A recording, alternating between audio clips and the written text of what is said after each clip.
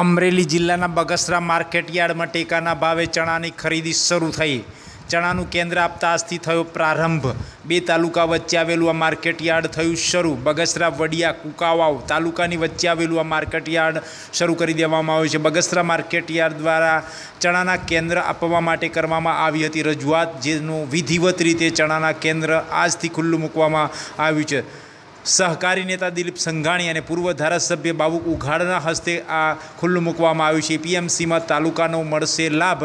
ખેડૂતોમાં ખુશી જોવા મળી. ટેકાના ભાવે, ચણાના ભાવે ખરીદવામાં આવશે ચણા, જેથી કરીને ખેડૂતોમાં ખુશી જોવા મળી છે.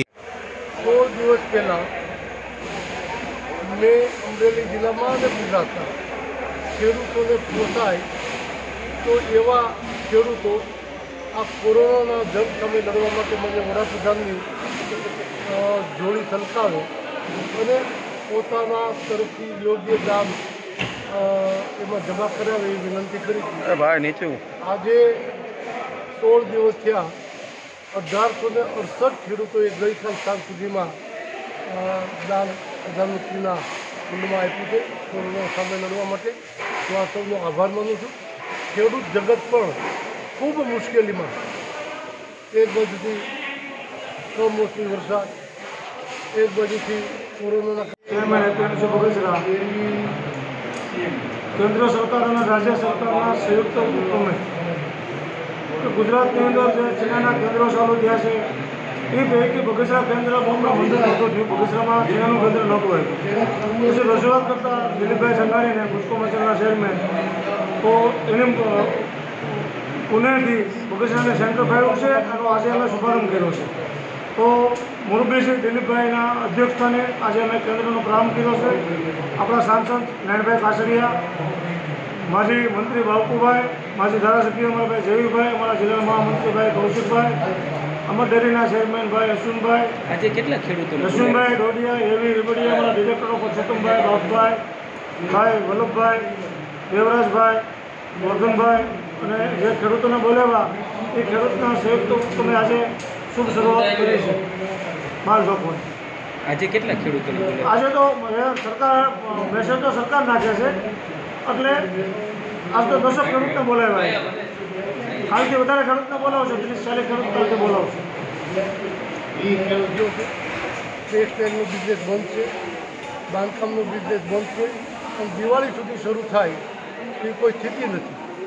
જે કારીગરો હતા એની પાસે જે રીતે મને ફોનથી રજૂઆતો થાય છે. પૈસા ખૂટ્યા છે. ખાવાની વ્યવસ્થાઓ, સામાજિક સંસ્થાઓએ જે કરી ત્યાં વ્યક્તિગત કરી એમની પણ ગતિ મંદ પડી છે.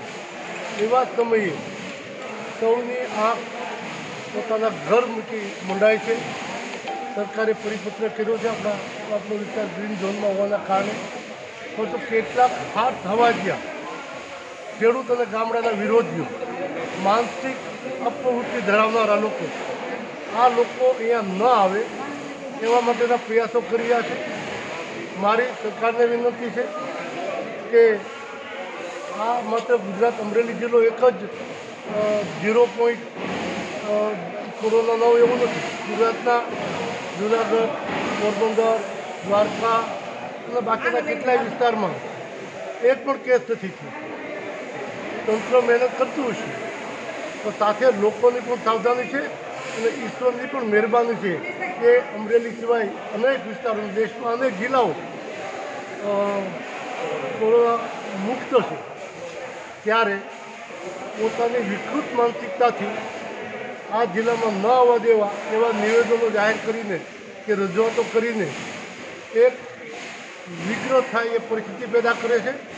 સુરતમાં આપણે જોયું છે કે પર રાજ્યના પ્રાંતના લોકો મોટા ટોળા કરીને બહાર નીકળી જતા હતા. એવી પરિસ્થિતિ ન સર્જાય તે પહેલાં ક્રમશઃ સરકારની ગાઈડલાઈન મુજબ ચકાસણી પૂરી થાય અને અમરેલી જિલ્લાના લોકોને અમરેલીમાં આવવાની તાત્કાલિક